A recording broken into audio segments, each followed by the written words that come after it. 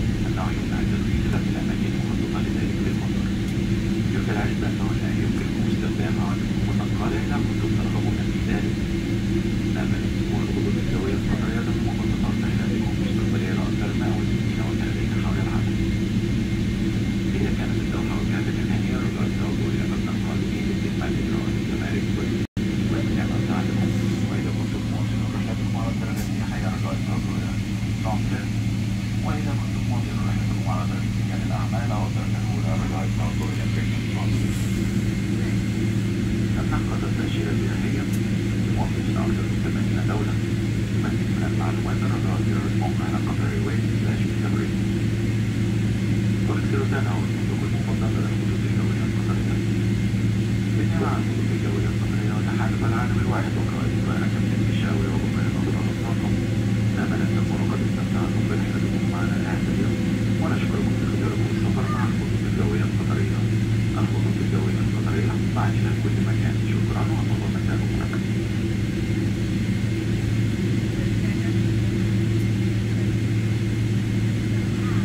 Ladies and gentlemen, welcome to Doha, the state of Qatar, European Tour. The local now is 30 minutes past 4 in the afternoon. The outside temperature is 30, 24 Celsius.